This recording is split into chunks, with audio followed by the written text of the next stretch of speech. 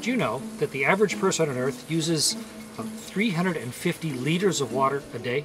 That's over 1,400 cups of water. Water consumption is critical on Earth, but even more so here on the International Space Station, where we have a closed environment. From washing ourselves to making our coffee, or even when we sweat, the water that gets expelled is collected into a purification system, and we reclaim about 93% of all the water on board. Definite soapy water here in space. Mix it up. Well, I got some on the outside apparently. Water used to be delivered in water-filled bags like this one. We brought them up on, uh, on space shuttles and of course all of the visiting resupply vehicles.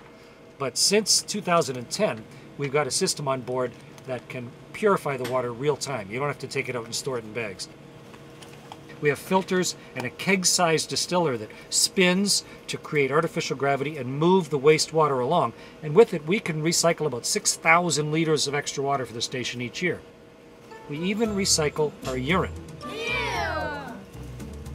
But before you cringe at the thought of drinking your leftover wash water and your leftover urine, keep in mind that the water that we end up with is purer than most of the water that you drink on a daily basis at home. That makes the International Space Station its own self-contained environment.